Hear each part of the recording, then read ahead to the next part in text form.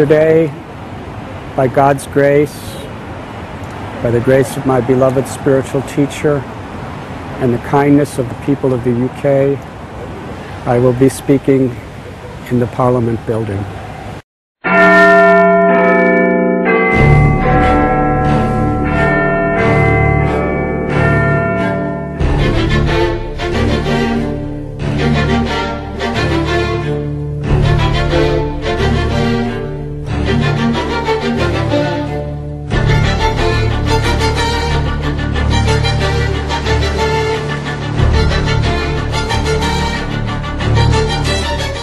So we've had a great time. It was an inspirational speech. Inspirational.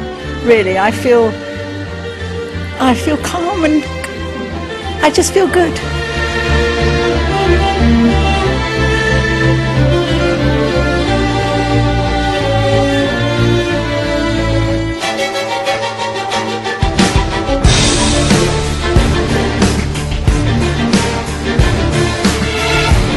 It's something that will stay with me for a long time. Uh, I'm very glad I made the journey in. Uh, I'm now going to read the Swami's journey, and I know it's going to help me understand life a bit better. Well, I thought it was absolutely an amazing evening. It was one of the most inspirational events that I've been to in my whole life.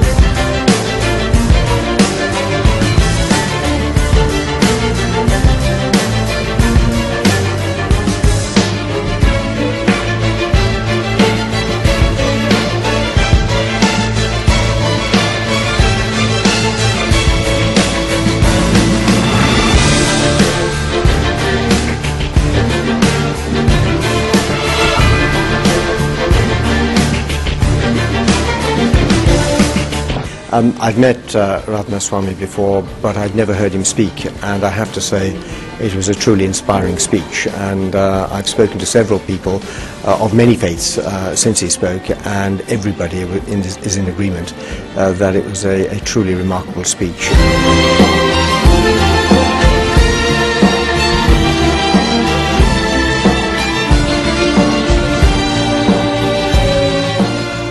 Things are meant to be used, and people are meant to be loved.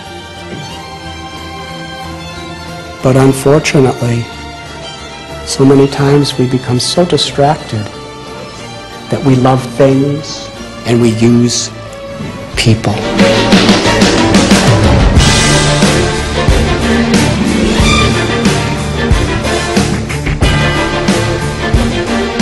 Wow, that was very, very inspiring. I mean, to have a spiritual leader in this mother of all parliaments is so great, so nice, and um, it really enlightened me.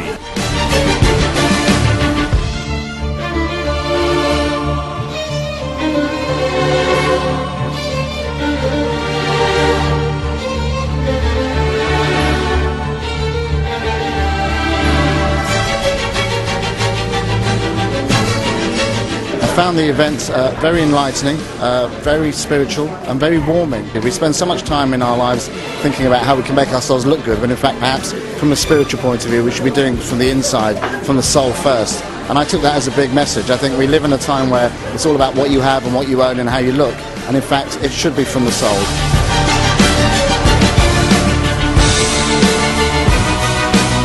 He's done very well for a nice Jewish boy. If there was more like him in this world, we wouldn't have as many problems we've got now.